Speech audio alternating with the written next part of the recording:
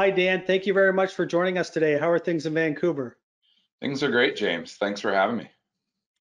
Dan, Endeavour Silver's had a great 2021 with improved production at your flagship mine, Guanaceví, and the release of your feasibility study at your growth project, Terronera. And you recently announced a new acquisition in Mexico, Mexico called Pitarrilla.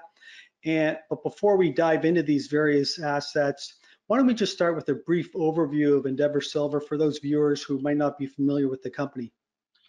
Yeah, I mean, Endeavour Silver's now been around for about 15 years. Um, Brad Cook was our founder, and he moved from the, the CEO role to the executive chairman role uh, this year, actually. So I took over May 2021 in this position. I was the CFO for 14 years, so I've been around for, for quite a while. And we're based out of Vancouver, uh, headquartered here, but our operations are in Mexico. We have a the asset, as you touched on, is kind of our flagship asset. We built the company off of the Bolañitos asset, a bit more south in the state of Guanajuato, also in Mexico. And then we have some development assets, the Terronera project. Um, we have the Parral project in the state of Chihuahua. And, and ultimately, yeah, we just picked up Pitarrilla from uh, SSR Mining, uh, who are rationalizing their portfolio. So we've got a great base in Mexico. We're also based in Nevada, USA. We've got an exploration property there, and we've also got an exploration properties, four or five actually, down in Chile as well. So we're trying to grow, and our, our focus is try to get to become a senior silver producer uh, over the next decade. Dan, that's a great overview. And you mentioned that you have two producing silver mines. And in the interest of time, I just want to focus on the larger of the two, of the two, and that's Guanaceví and consolidated silver production was 4.8 million ounces on the year, 42 million or 42,000 ounces of gold, or 8.3 million ounces of silver equivalent. And this yep. was primarily driven by this mine. And I just want to touch on what exactly you and your team did to drive this performance this year. Yeah, I mean, this year's performance really dates back to historical years. I mean, like I say, we've been at Guanaceví now 15 years, never had more than a two-year reserve life. Ultimately, it's kind of like uh, pearls on a necklace. You go down that, and one of the keys for any underground mine is is mine development and making sure we, we're staying ahead of it. Uh, and we have enough stope opens to meet production profiles. In 2017, 2018, the lower silver prices, your margins contract, your cash flow contracts, and ultimately you end up starving a little bit of the mine to try to manage your cash flow as best you can, but it impacts your longer term production. And I think it got we got caught with that in 2017, 2018, and made a lot of changes in 2019. Uh, start refocusing on mine development. We bought a new fleet, so all the work to 2020 and 2021, where we beat guidance at Guanaceví, stems from that. And the second part to it is uh, in 2019 of October, we signed an agreement with Frisco, one of the largest uh, miners in Mexico, family conglomerate owned by actually Carlos Slim, to acquire some land around that, made a discovery and brought that discovery into production in 2020 and 2021. And uh, the grades have been phenomenal and ultimately led to our uh, beating guidance for 2020 and 2021. Well, that's interesting. I didn't realize Carlos Slim was involved in the mining industry. Does he actually own any mines or he just owns property?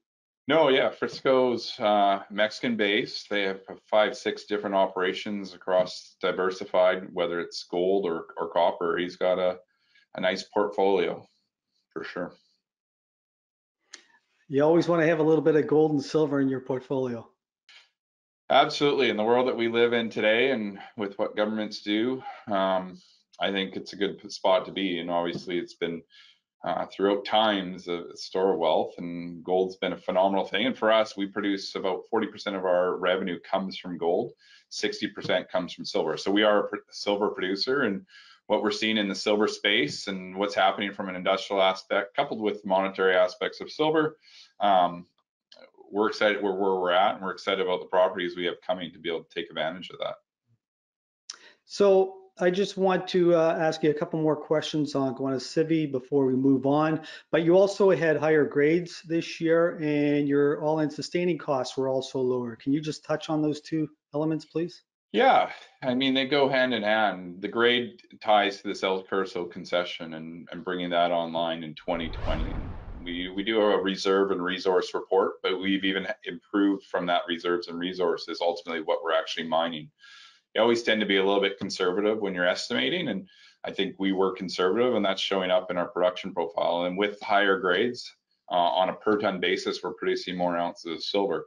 We've been at Guanaceví for 15 years. We know the cost structure and we put out guidance. The ultimately what's driven our all-in sustaining cost down is the higher grade on a per ton basis. So we are starting to see some costs increase, um, definitely from a supply chain standpoint in 2021.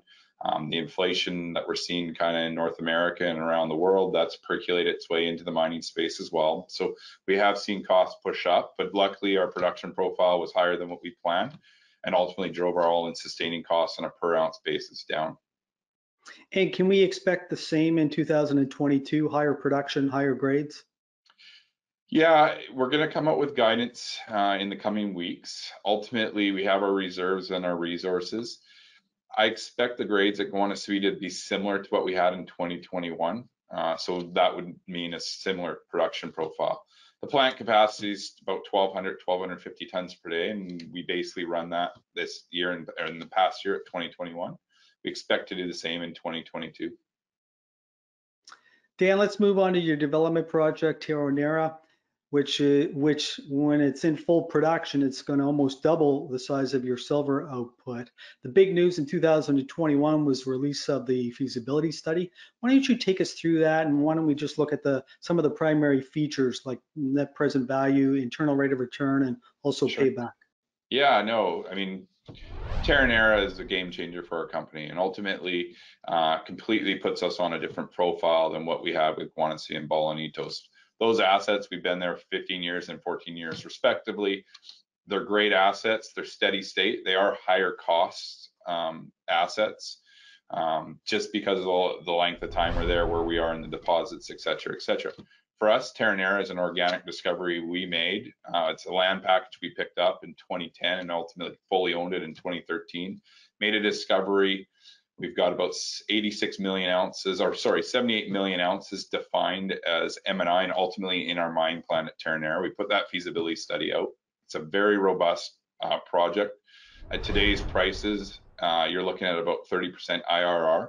Uh, net present values uh, just shy of $300 million with a capex of about 175 million. So very bite size. We're working on a debt package today, going through due diligence with banks and ultimately use the cash that we have on our balance sheet and some debt, which we currently have zero debt on our balance sheet to be able to bring Terronera into production. And as you say, it will double our production. But the great thing about Terronera is ultimately its cost profile. On a cash cost basis, the cash cost is about 59 cents per ounce of silver. Uh, and that's on our base case. Using prices today, you're looking at negative cash costs. All in sustaining costs, you're effectively using all the gold. We'll pay for that silver. You're thinking we're thinking about a dollar, dollar 50 all-in sustaining costs. Again, on a base case, if you look at today's prices, gold is that byproduct. Uh, cash costs, all-in sustaining cash costs are negative. So there's not many projects in the silver space that have come around, um, and this completely changes us. Takes us from a, a tighter margin to basically cuts our cost profile in half because cash costs are zero and all-in sustaining costs are near zero. Uh, and then, as you say, doubles our production. Terronera, first four years, will do about seven and a half million silver equivalent ounces per year. And over the 12 year life that we've defined, it'll average six, six and a half million ounces silver equivalent per year.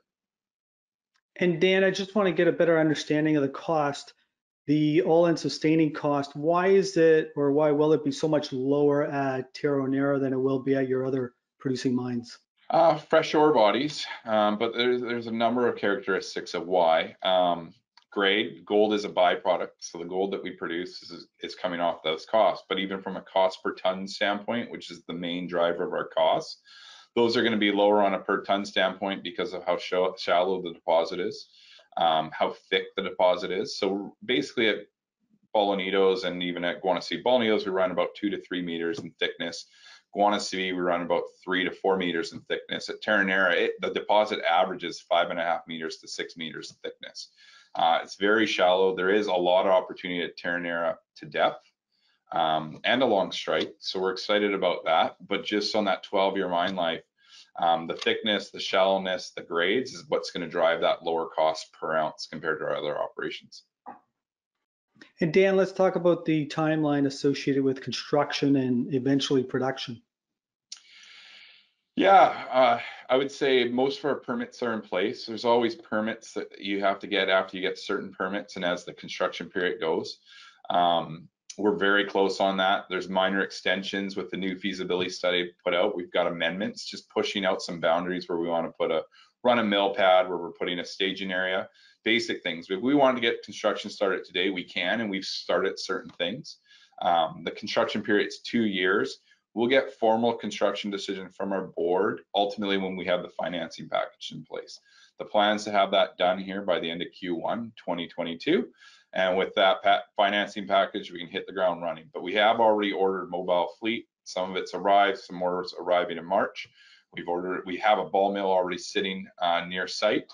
Uh, there's a number of things that we're doing to make sure that we meet a two-year timeline from a construction period. If we can meet that two-year timeline and be on time, it'll help us be on budget for that project. And I'm sorry, remind me again what the CapEx is associated with this project? Yeah, right now in our feasibility study, the initial capex is 175 million. Um, that was spent basically linear through the two-year construction process. I think early on, there's a lot of earthworks need, needs to be done, about six months worth of earthworks. That's going to impact how that cash goes out. But with long lead items and making it, it's generally, like I say, a linear path of 175 million over the two years. Dan, that was a great overview. Let's move on now. Your latest news is the acquisition of a very large undeveloped silver project in Mexico called Pitarrilla for $70 million, and this was acquired from SSR. Why don't you just give us a brief overview of this asset and also what was the rationale for acquiring it? Yeah, I mean, Pitarrilla, since the original discovery by Silver Standard, which turned into SSR Mining, uh, they'd staked it and made the discovery in 2002. Ultimately, it's one of the largest undeveloped silver deposits in the world. I mean, the discovery really is fantastic, and they they advanced that all the way to 2009, where they put an underground pre-feasibility study on it, and and then in 2009, the silver world changed. Silver ran um, from 2010 to 2012 up to $50. They reconceptualized what Pitarrilla was uh, they saw it for all the halo effects, the oxide, the sulfides, and actually came out with the super pit. Um, still considered what a, a, great project, but ultimately silver came back since 2012 when they put out that feasibility study and kind of languished here in the teens and in low 20s. And ultimately, their feasibility study was done at $25 silver. Fast forward another couple years, uh, Alacer and, and SSR Silver Standard merged, new management team, they're rationalizing their portfolio an opportunity for us. They're focused on gold, they're focused on other areas. We're focused on silver. The Pitarrilla deposit's got 525 million ounces defined under M&I. I mean, if you compare that to what we have at Endeavour, we're close to 200 million ounces silver equivalent. So that's our gold and our silver taken into account. This is 525 million ounces of silver defined as a resource at Pitarrilla plus lead plus zinc, which is about half the deposit. So uh, we're excited to be able to acquire it. Uh, we think it was a very fair purchase price on both sides. I think both sides have been very happy with the deal. Very positive from from our standpoint, from our shareholders. I think it's been positive from theirs. They are going to be a five percent shareholder. They're taking some shares in the deal, um, but we're excited and we've got a lot of exploration to do. We're going to prove up the resource. So we've got some to make it a current resource under Canadian guidelines under 43101. Uh, but we expect to have that done in 2022, and then we'll put an economic study on it uh, for 2023. So your development team is going to be very busy going between Terronera and also Pitarrilla. How are they going to balance that time? Yeah, it, they are going to be busy, and that's a phenomenal problem to have. And ultimately, Terronera and our development team, that's our focus for the next two years. They will focus on developing that. Our exploration team will focus on on uh, especially for 2022. When we get into the economic studies, we can move some of our engineers over to over from Terronera to Pitarrilla, but we'll also use external consultants primarily on a, a feasibility study or pre-feasibility study, depending on where we're at, at, and what stage we're at with Pitarrilla. Um, so it shouldn't take any focus away from Terronera, but ultimately with Pitarrilla, uh, we've got to let the geology and figure out what our resource is and look at those numbers. Then we'll look at different scales of production. And ultimately, Endeavour's an underground miner. Um, we're not open pit, the way we see Pitarrilla coming out will probably be an underground mine, but that's yet to be determined. We'll figure out the resource, put it in the hands of the engineers, see what the studies say, and then go forward from that. Dan, as you mentioned, the asset was acquired from SSR. What will you and your team do differently than what they did? Yeah, I, to be honest, I think they've done a great job defining that resource. I mean, because it's, it is dated, it's 2012, we will make it a current resource. Uh, for them, it just became a rationalization of their portfolio, their focus on gold. They made a pivot. There's a reason why they used to be called Silver Standard. They changed their name to SSR. They picked up a lot of gold assets, and there's only a handful of us primary silver producers out there. Um, a lot of the silver producers moved into gold over the last 10 years, and we've stayed on the silver path, partly because of our discovery of Terronera, partly because we believe in that metal over the next couple decades. So um, it's not that we're going to do anything different. It's just something that makes sense in our portfolio compared to their portfolio, and we think we can advance it. And we're going to reconceptualize some of the things they, the previous management team at SSR Mining did, and ultimately we think it's going to work out very well for our shareholders. That's a great overview. Thank you. You recently came out with your Q4 production numbers and full year numbers for 2021. Yeah. And you made mention of the fact that you sold 1.4 million ounces of silver, 8.7 thousand or 8,700 ounces of gold, but you also held back some silver and some gold. Is this something you do often? And what was the rationale for doing this? We do it time to time. I mean, it's just based on what we're seeing in the in the in the marketplace, what's happening in the silver price or gold price at any given time. And we've held back uh, silver for most of 2021. Actually, we held back some in Q2, more in Q3, and kind of kept that same level here at the end of the year. And ultimately, it's the believing in in the silver price. We have a very healthy balance sheet at this point in time. We don't have any long-term debt. We have over $100 million in cash at September 30th. We had this bullion that's worth about $30 million. Working capital um, was over $150 million.